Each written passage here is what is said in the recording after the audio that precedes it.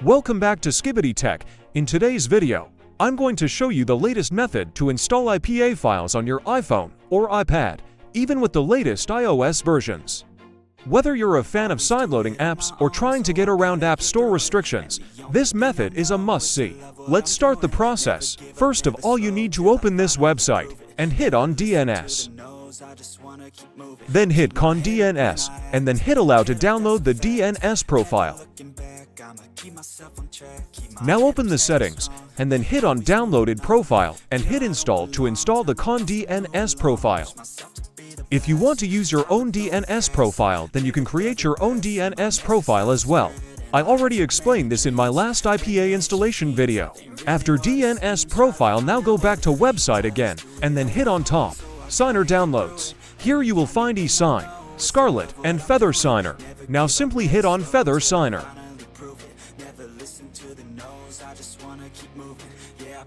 You can try any one of the Feather Signer link. I will try the Feather Signer first link.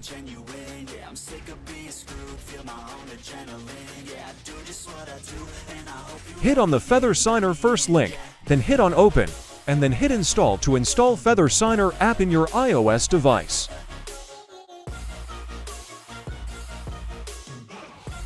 Once the Feather Signer app is installed, now open your settings, then open General, then open VPN and Device Management.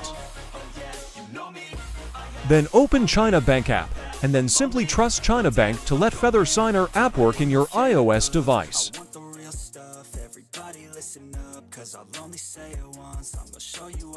Now you will see Feather app will start working.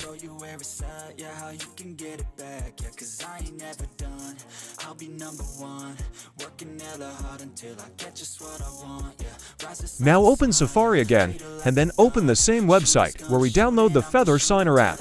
Now we need to download the certificate to let Feather app work properly.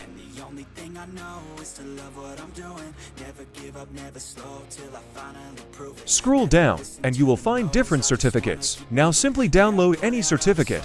I will try the Sunshine 3 certificate. Simply hit on the certificate, and then hit download to download the certificate. Now simply go to your download files, and then hit on the downloaded Sunshine Certificate zip file to unzip it. Then you will get Sunshine Certificate new folder with three files in it. Now open the Feather Signer app, and then hit on the settings, then hit on Add Certificate. Now hit on Add Certificate again, then hit on Import Provisioning File. Now select the provisioning file from the Unzip Sunshine Certificate folder. Never listen to the nose, I just wanna keep moving. Keep my head up when I act. Then hit on Import P12 certificate file, and then select Certificate from the same Sunshine certificate folder. Then write the password, and then simply hit Save to save the settings. Now you are all set with Feather Signer app. Now download the IPA file you want to install in your iOS device. Then open the library in Feather app and then hit import, and then select the IPA file you want to install. Once your IPA file imported successfully, now hit on your IPA file and then hit sign. Then hit on start signing.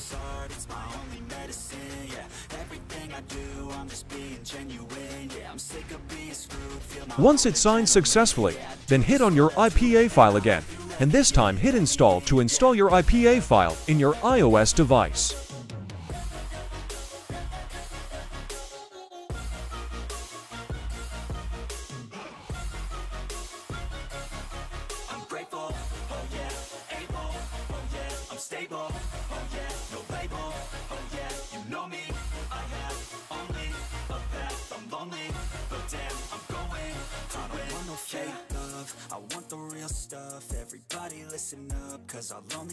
Once your IPA file is installed in your iOS device, now simply open the settings, and then open General, and then open VPN and Device Management.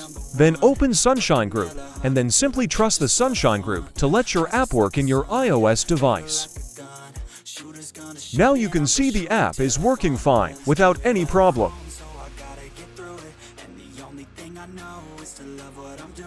Now a lot of people in comments ask me that how to not get revoked, So for this, I will advise you that before restarting the device, just turn one airplane mode.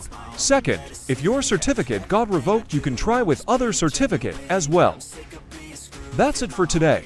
If you found this video helpful, don't forget to smash that like button, subscribe for more iOS tutorials, and hit the bell icon to stay updated on the latest tips and tricks.